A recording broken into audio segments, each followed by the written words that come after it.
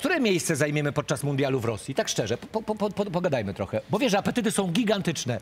Wszyscy czekają na dobre miejsce na pudle. Na pudle Nie w pudle, a na pudle. ciężko będzie. Czemu? Bo ja nie uważam, że jesteśmy zespołem, który jest w pierwszej tam trójce, czwórce na świecie. Mimo, że FIFA, UEFA i Ale to, to, to, MPWD to nie jest mm, dobry wyznacznik, tak?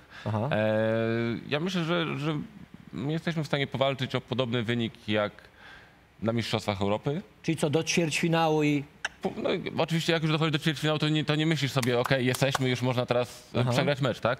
E, ale tak realistycznie myślę, że, że wyjście z grupy i jeszcze, jeszcze jakiś tam jeden kroczek dalej, dwa kroczki dalej, może do tego półfinału i rzeczywiście do tej strefy medalowej, e, no to jest taki szczyt, nasz szczyt marzeń jest mistrzostwa, no mów, tak, między nami. Nie? Aha, aha. Ale, a tak realistycznie mówiąc, myślę, że sukcesem byłoby, byłoby dojście do ćwierćfinału na pewno.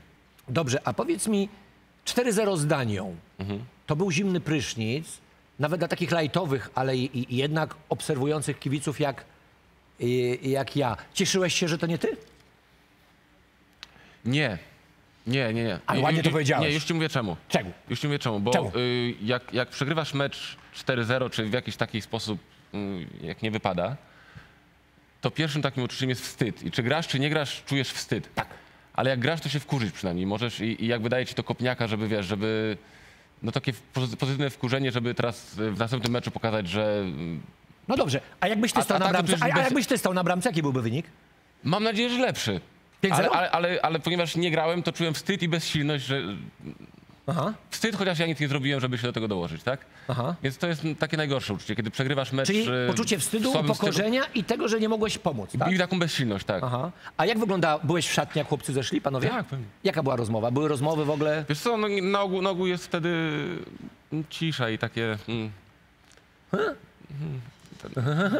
no. Ale nie było czegoś... Pierwsze Nie, momenty są takie no, niewygodne bardzo. ale nie było kogoś takiego na przykład, że znajdujecie kozła ofiarnego i mówicie, to nie, ty. Nie, nie wiesz... Krycha, to ty. Znaczy wiesz co, no, tam tych kozów było parunastu na boisku no u- tak. u nas akurat tego dnia i jakby każdy y, ponosi odpowiedzialność Okej. jak, jako zespół i, i, i dzięki temu jest trochę łatwiej jakby sobie radzić z porażkami. Mhm. Że je- dzieli się to na 11 i, Okej. i trzy dni później wygraliśmy 3-0 chyba z, z Kazachstanem. No tak. No już trochę wstyd by było jakby z Kazachstanem nie wygrać, ale...